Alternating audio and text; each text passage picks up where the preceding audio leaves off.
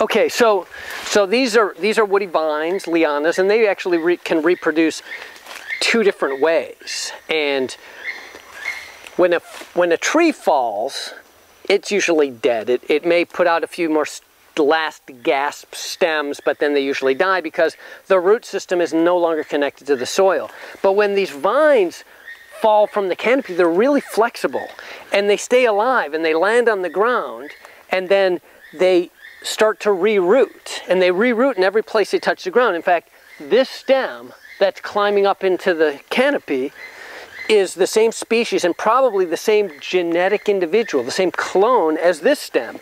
And if we follow along the ground where the stem goes, we find that it goes right into this stem, which came out of this stem, but now they're separately rooted. And then this one's a pretty big stem and it's going back up into the, into the canopy.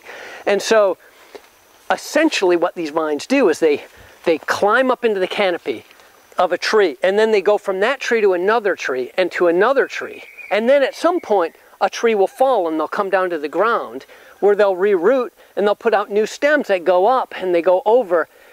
And over hundreds and thousands of years, it's like a super organism that's slowly moving through time and space through the forest. And it's a genetically identical clone to the first one that landed as a seed and grew.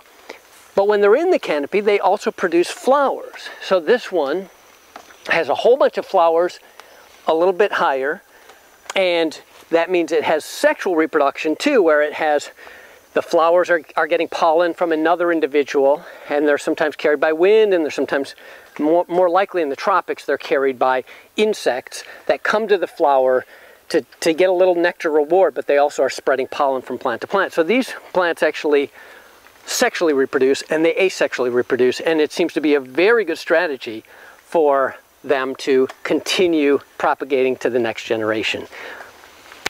Any questions, kids? Pay attention, Jimmy.